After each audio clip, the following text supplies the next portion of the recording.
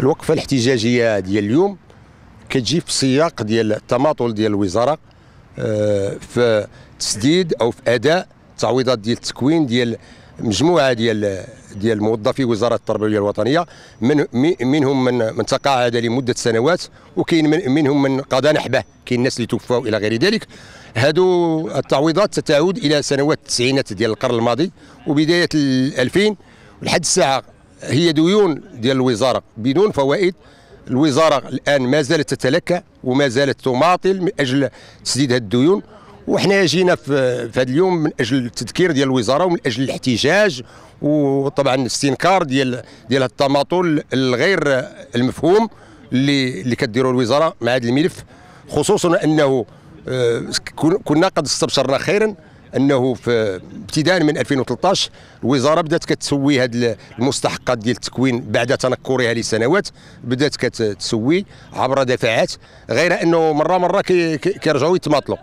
مؤخرا في شهر 11 الوزاره صدرت اللوائح ديال الدفعة السادسة ديال الناس اللي مستحقين التكوين وعيطت لهم يوقعوا وبالفعل آه، وقعوا الإخوان. كنا ننتظر كنا نتوقع أنه بعد شهرين أو شهرين أو ثلاث أشهر على أكثر تقدير غادي يتم الأداء غير أنه لحد الساعة الملف الثاني رجع للتماطل ديالو السابق. وجينا في اليوم باش نذكروا الوزارة بأننا مصممون وعازمون على النضال من أجل آه، الإحقاق ديال الحقوق ديالنا وتسلم مستحقات ديالنا ديالنا. علما بأنه هذه ديون تراكمت على الوزارة من منذ القرن الماضي وبداية القرن الثالث ومن حقنا ك ك كمتضررين أننا نطالبوا بفوائد ديال التأخير. طبعا حضورنا اليوم كجامعه وطنيه للتعليم في إطار الدعم والمسانده لهذه الفئة اللي المطلب ديالها كما يعلم الرأي العام مطلب بسيط وهو التعويضات اللي هي مستحقات ديالهم منذ التسعينات القرن الماضي.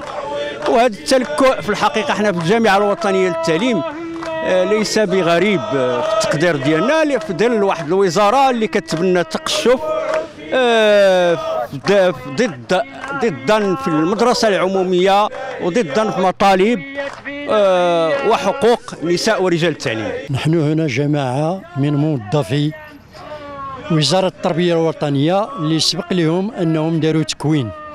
وحسب القوانين الصادرة منذ زمان أن كل من كل موظف أقول موظف التحق بمدرسة معينة في إطار آه، الاستمرار في التكوين فإنه سيعوض الناس اللي تيجيو من بعيد إلى الرباط أو لمدن أخرى أنهم يتلقاو تكوين إضافي.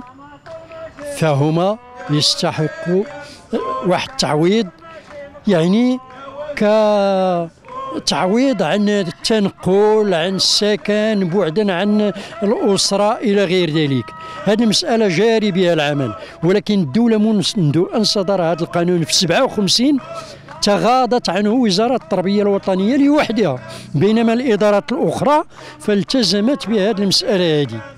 ولم يتم تدارك الموقف في هذه الوزارة إلا بعد أن قدم مجموعة من الموظفين التابعين فعل طبعا لوزارة التربية الوطنية بشكايه للجهات المختصة وخاصة المحكمة الإدارية وتمكنوا من تحقيق مطلبهم. منذ ذلك الوقت ووزارة التربية الوطنية تعيد ب حل هذا الملف بشكل نهائي. إلى حد الآن وهنا في هذه الوقفة هناك ناس ينتمون لجيل السبعينات والثمانينات والتسعينات لا زالوا ينتظرون.